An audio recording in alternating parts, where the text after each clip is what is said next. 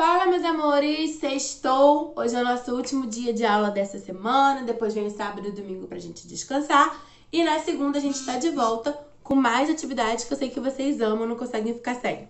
Então, ó, peguem essas duas folhinhas aqui de matemática, essa folhinha e essa folhinha. Essas folhinhas foram para vocês junto com, com os caderninhos, com o livro do segundo bimestre, tá? Então, peguem essas duas folhinhas que nós vamos começar com elas hoje, tá bom?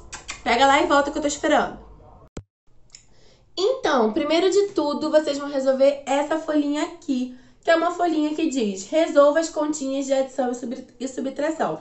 É, coloque lá o nome de vocês, tá? Professora, o nome da professora, turma e a data, tá bom? Igual a gente faz com o cabeçalho mesmo.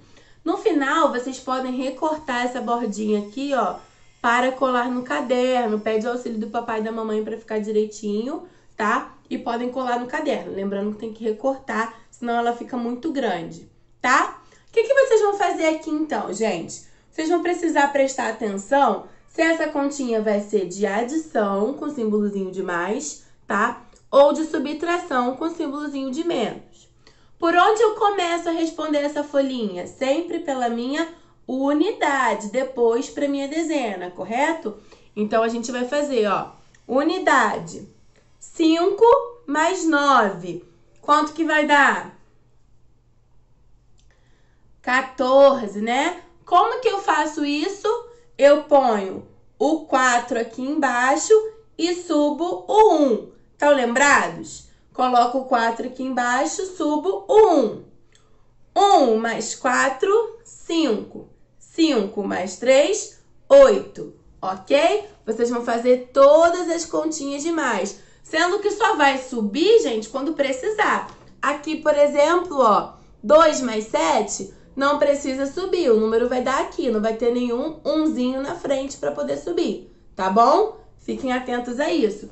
Podem responder, então, essa folhinha com todas as continhas de mais e com todas as continhas de menos. A tia vai mandar, vai resolver essa folhinha e vai mandar uma foto no grupo dos pais para eles corrigirem com vocês, para ver se tá certinho, ok? Então, ó, dá uma pausa no vídeo, façam aí, lembrando, começo sempre pela minha unidade, depois eu vou para dezena. Na subtração a mesma coisa. 5 menos 1, coloco aqui. Depois 7 menos 4, ponho aqui, ok? Pode usar o auxílio dos dedinhos. Cinco, tiro um, tá? Então façam aí, dá uma pausa nesse vídeo e depois que resolverem essa folhinha, dá um play e volta para outra. Já nessa segunda folhinha aqui, nós vamos ter situações, problemas de matemática e a gente vai precisar da adição ou da subtração para resolver também, ok? Então vamos lá, ó. Mônica leu cinco gibis na parte da manhã e quatro na parte da tarde. Quantos gibis Mônica leu durante todo o dia? Se ela leu cinco, depois ela leu mais quatro. Como que eu vou montar essa continha aqui? Montem e vejam o resultado, tá? A de baixo, mesma coisa. Cebolinha trouxe três carrinhos para brincar e Mônica quatro bonecas. Quantos brinquedos eles têm juntos? Eu vou juntar. Eu quero saber quanto vai dar os carrinhos do Cebolinha e o da Mônica junto. Vou usar mais ou menos. Presta atenção, tá bom? De baixo. Mônica estava fotografando cinco borboletas e chegaram mais quatro borboletas. Quantas borboletas estavam voando no lugar? Aqui, gente, nesse espacinho é para vocês montarem a continha, tá? Um número embaixo do outro direitinho. Último. Magali foi comprar sorvete e pediu três bolas de chocolate e três bolas de morango. Quantas bolas de sorvete Magali tomou? Ok? Vão responder essa segunda aqui também. E essa folhinha a mesma coisa. Tchatila vai responder, vai tirar uma foto e vai mandar amanhã pro papai ajudar vocês a ver se tá certinho. Tá bom? Pro papai e pra mamãe. Quem tiver no grupo lá vai poder mostrar pra vocês e ver se tá tudo ok. Tá bom, galera? Galera, e agora eu tenho um recadinho que não é sobre o conteúdo que a gente estudou, mas também é um assunto muito importante. Hoje, dia 5 de junho, nós comemoramos o Dia do Meio Ambiente, o Dia Mundial do Meio Ambiente. esse dia foi criado para lembrar a gente sobre a importância de preservar o meio ambiente, que é o meio que a gente vive, é o nosso meio ambiente, né?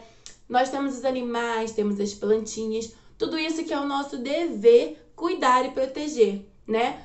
Quando a gente vai à praia aqui em Rio das Ostras, que a gente observa aquela paisagem tão linda, aquelas águas, aquela aquela areia bem limpa, quando a gente observa as vidas que tem ali dentro, às vezes a gente vê peixinhos, às vezes a gente vê tartaruga e acha isso tão bonito. Isso tudo, na verdade, é uma responsabilidade nossa. Cuidar do meio ambiente é uma responsabilidade nossa. Então, eu vou escrever aqui um recadinho, ó. Vamos cuidar do nosso meio ambiente, dia 5 de junho, Dia Mundial do Meio Ambiente, para lembrar de preservar aquilo que é nosso. Não jogar lixinho no chão, não jogar lixinho nos parques e é nosso dever, como estudantes da escola Criativo, lembrar todo mundo que está à nossa volta disso. Então, se a gente vê alguém jogando lixo nos campos, um lixo nos parques, um lixo na praia e tiver com a gente, se essa pessoa for da nossa família, nosso amigo, a gente já fala assim, ó.